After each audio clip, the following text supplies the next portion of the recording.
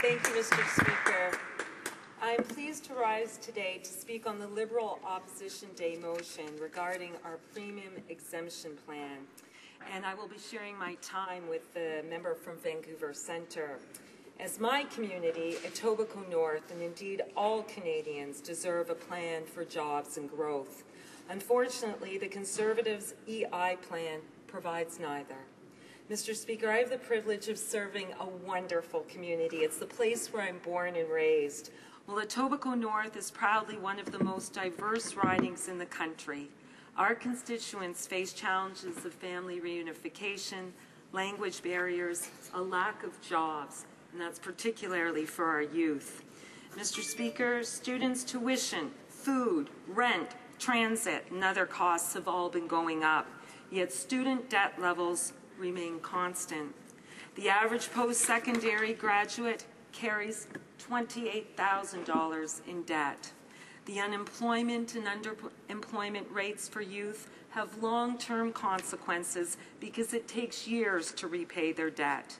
Parents and grandparents often step up to financially support their, their adult children. This is scarring a generation of young Canadians and contributing to higher household debt and poor retirement savings. Mr. Speaker, let me share some stories from the summer in my constituency office. I have permission to share each in the House of Commons. In fact, one of my constituents said, quote, tell my story. I'm a person. I need a job. I have a family to feed. Make them care. Make them do something that actually helps and doesn't hurt my family or me. From my community, an international doctor who cannot practice medicine, bringing the total of dozens and dozens of international medical graduates I have met. A man previously had his own law firm back home for almost two decades, came to Canada for a better life for his children, repeated his law education in Canada, and still cannot find a job.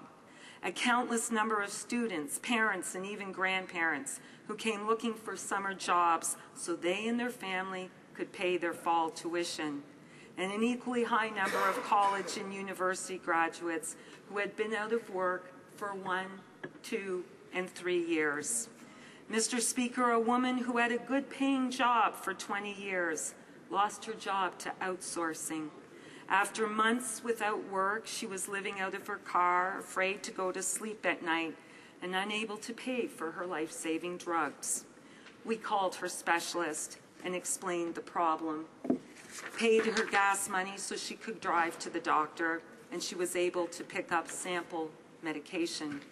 Another woman could not afford the painkillers after her surgery. She came to my office in tears with an ice pack to kill the pain, so I bought her medication and paid for her trips to and from the hospital.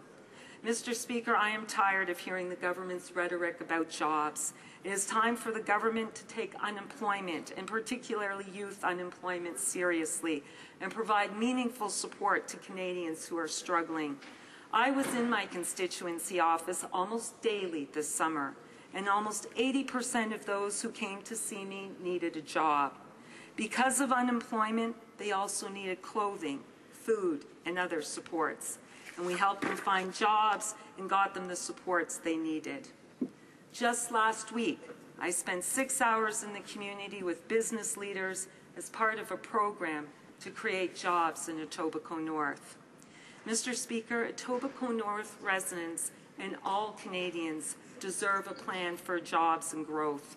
Unfortunately, the Conservatives' EI plan provides neither. The Liberals' EI premium exemption plan will reward businesses for each new job created in 2015 and 2016. This would represent a benefit up to $1,280 for each newly created job, which for $225 million could help to create over 175,000 new jobs. On the other hand, the Conservatives' EI rate reduction only encourages businesses to, to stay small and punishes them if they grow and are successful. With the Conservatives' plan, only businesses with EI taxes below 15,000 would see any savings, creating an incentive for businesses to fire workers. The price tag for the Conservatives' new small business EI tax credit is estimated at $550 million over two years. That is, the Conservatives have announced an annual $225 million measure that is unlikely to produce jobs. Mr. Speaker, the Conservatives' EI tax credit is getting slammed by economists ranging from Jack Mintz to Mike Moffatt. From Jack Mintz, University of Calgary, quote, it becomes a disincentive to growth. From Stephen Gordon, Laval University, quote, the Conservatives have yet again eschewed a straightforward and effective measure and adopted one that is complicated and most likely to have little effect on employment or wages. From David Macdonald, Canadian Centre for Policy Alternatives, quote, if you're an employer and your payroll is slightly over $550,000, you've got a strong incentive to cut your payroll. And from Mike Moffatt, Mowat Center, quote, the proposed small business job credit has major structural flaws that in many cases gives firms an incentive to fire workers and cut salaries. The Globe and Mail says that is, quote, creating a perverse disincentive for small companies to grow. The tax credit gives firms about $200 to hire someone, but over $2,200 to fire someone. Mr. Speaker, the Liberals have a solution. Use the money to give job creators an EI premium exemption for new jobs. I have heard from members of my community who want to know when the Conservatives will drop their poor plan and adopt the Liberal plan that would actually reward job creation and growth. Mr. Speaker, under the Conservatives, 527 mid-sized firms of 100 to 499 employees vanished between 2007 and 2010. Canada has a lack of medium and large companies compared to the United States and most other developed countries. And also under the Conservatives, 9,000 exporters disappeared between 2008 and 2012 and may never come back. Not only have jobs been lost, but also Statistics Canada does not know where job vacancies exist in communities across Canada. The Auditor General's 2014 spring report confirmed that the Conservatives' undermining of Statistics Canada has left the government unable to accurately address the economic needs of Canadian communities.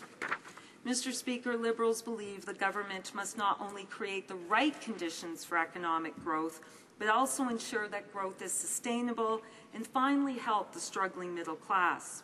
We understand that we must create the conditions that allow for economic prosperity, including investment in education, infrastructure, and trade expansion. Liberal focus is creating new jobs and hiring more Canadians. This is the only way that we can grow the middle class and expand opportunities for Canadian families. Mr. Speaker, the people of Etobicoke North need jobs, and I have worked hard to get them jobs. I obtained funding for a Completing the Circle program, a $500,000 jobs program in our community in remembrance of Loyen Jalal. I personally review and edit resumes late into the night, sometimes doing two and three drafts. We get our people into job programs. We follow up with them to make sure their job searches are going in the right direction. While they search, we help them with food, clothing, and whatever other supports they have need, they might need. I buy medicine. I had a lady looking for help who was in agony due to an ear infection that had raged for three weeks. She had pus and blood running down her face. The sad reality is she could not afford antibiotics because she could not find a job. Mr. Speaker, in closing, a constituent asked of me, how come you have to find me a job? Why doesn't the government make it easier for me to get a job so I can pay taxes, contribute, and have my dignity? Thank you, Mr. Speaker.